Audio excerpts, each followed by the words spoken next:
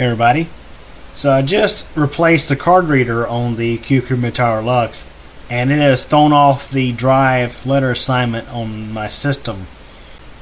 So what we're going to do is we're going to change M, N, and O to be different drive letters. So to do that, in File Explorer, what you can do is you can right click on computer or this PC and select manage. And if you get a UAC prompt, just accept it. Um, now, of course, we're on Windows 11, and the steps here will also work on Windows 10, Windows 8 and 8.1, Windows 7, Windows Vista, even Windows XP. So, here we are in Computer Management. We're going to select Disk Management. This may take a moment to come up. So, we're going to change the drive letters on each of these. So, to do that, um, all I gotta do is right click and select change drive letter and paths. I'm to select change and we're to change this to G. Select OK. Now it's going to tell you a warning. Um, some programs that rely on drive letters might not run correctly. Do you want to continue? We'll talk about that in a moment. Select yes and it's going to change that drive letter to G. So let's go ahead and repeat the same step for O. We're going to change it to I. Actually, no, we'll change it to H. Select yes again.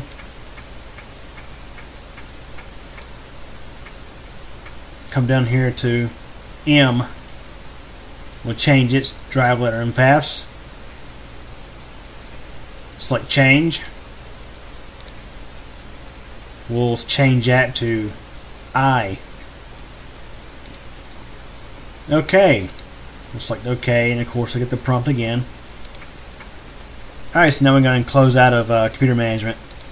So, you can see now, following our last um, internal hard drive, we now have our built-in removable devices, which are three removable drives for the card reader.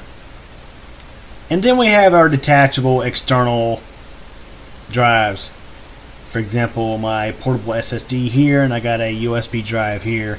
So, that message you've seen earlier um, stating that some programs may not function correctly if you change the drive letter so, for example, let's say um, let's say you have a video editing program and you have a project file saved on that drive or anywhere on your system.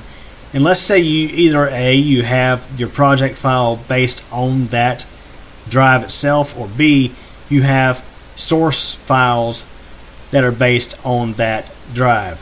Okay, let's say you change your drive letter after you've saved your project and you go to open up your video editing program, it's going to not be able to find the files because the drive letter has changed. So that's basically what that's talking about. Is if you have, let's say for example, um, a project file in let's say a video editor again, as I said, um, and you have saved a project and you have either the project file itself located on that drive or you have needed files for the project on that drive. And you go change your drive letter it will throw things off. And also I should note that you shouldn't do this when you have let's say for example um, well I mean you could do it when you have let's say your USB drive plugged in but you don't want to do it when you have software open that's using files on that device that you're changing the drive letter of.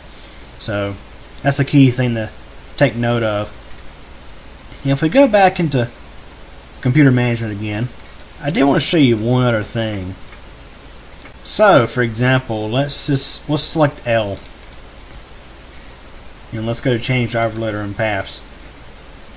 Now, there's another thing you can do. Let's say, for example, you did a disk clone, and you have, for example, your system reserve partition on your C drive or your your main OS drive showing up as a drive letter. Um, you do have the option to totally remove that drive letter. And I'm not going to select yes on this because I don't want to do it, but that is an option Um, what that will do is it will, it will stop, let's say, your system reserve partition uh, from showing up in File Explorer as a drive letter. Um, another thing is, if you look in your list of drives, now of course, my system does have an A drive, a floppy disk drive. 1.44 megabyte, 3.5 inch floppy drive. Now, of course, traditionally drive letters A and B have been assigned to floppy drives. So, because of that, I generally would not recommend using those drive letters for, let's say, your thumb drive.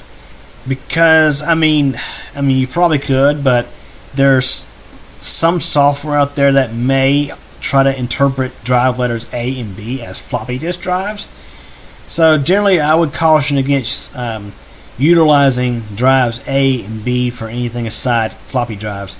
And let's say, for example, you need to use a floppy drive, and you have um, you already have drive letters A and B assigned to other uses, and you pop in that floppy disk drive.